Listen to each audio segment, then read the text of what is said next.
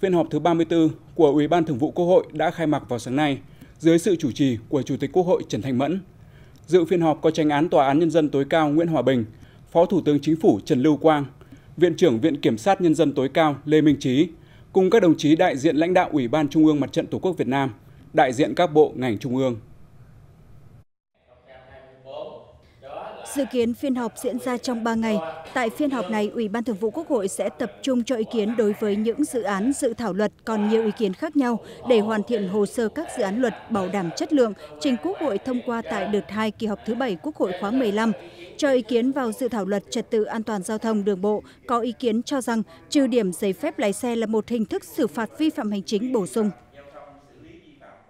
có có cái điểm ờ, trừ trong cái cấp giấy phép lái xe và sau khi anh nào mà đã bị hết cái điểm rồi thì phải phải thi lại. Đấy. thì bây giờ đang giao cho hai cơ quan. Cái việc quy định như thế nào thì giao cho bộ giao thông vận tải. Còn cái việc uh, kiểm tra sát hạch lại cái việc mà thực hiện cái kiến thức pháp luật để mà có cấp lại cái giấy phép này thì giao cho bên lực lượng cảnh sát giao thông thì đề nghị chỗ nào phải phải phải làm rõ giao cho chỗ nào nó, nó hiệu quả khi những cái người mà đã bị trừ hết điểm ấy, thì sẽ phải kiểm tra lại tâm lý kiểm tra lại sức khỏe tâm thần kiểm tra lại ma túy và kiểm tra lại kiến thức pháp luật về điều khiển giao thông. Đấy, thì mới được cấp bằng tiếp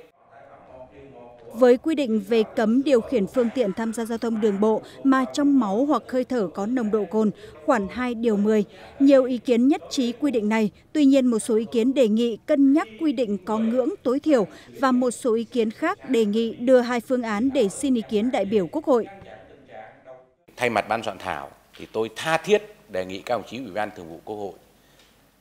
bằng kinh nghiệm chỉ đạo trong hơn 2 năm công tác đảm bảo trật tự an toàn giao thông vừa rồi thì tôi tha thiết các đồng chí để một phương án, đó là nồng độ, một cồn bằng không, để nó đảm bảo sự thống nhất trong cái việc mà chấp hành